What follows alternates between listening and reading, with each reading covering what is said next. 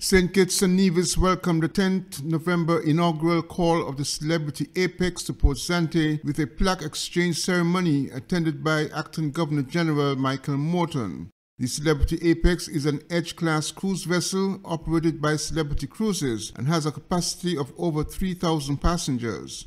The Apex is an award-winning luxury cruise vessel with primarily Caribbean and European itineraries.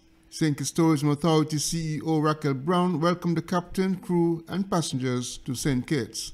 And I would like to say to Captain Demetrius and his team and the Royal Caribbean Group and to the Celebrity brand, thank you so much for bringing the Edge Class Celebrity Apex to St. Kitts.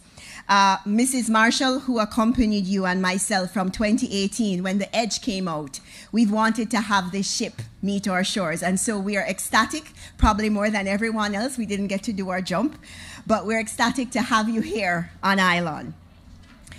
Today is another proud day for our destination. Uh, March 13th, as you may not know, was uh, the last day we had two vessels berthed here at Port Zante.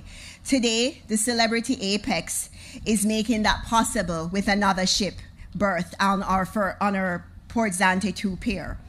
Um, we are we know that the celebrity traveler is highly discerning and the vessel with its sleek trims offers several amenities on board.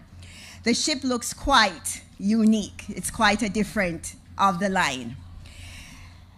Your magic carpet, unrivaled restaurants that are so often unmatched with the culinary experiences, and your rooftop garden. Captain Demetrius, I know you are pleased to be leading the ship. Um, we know that the ship is not at its maximum capacity today. It only has 1,839 passengers. But we know in months to come, we will see the vessel at its maximum capacity. We know that uh, we are rebuilding cruise, and we're glad that the Federation of St. Kitts and Nevis could be a part of this process. Also in port were the Carnival Freedom and the Seabourn Odyssey. Glenn Bart reporting for SKN Newsline.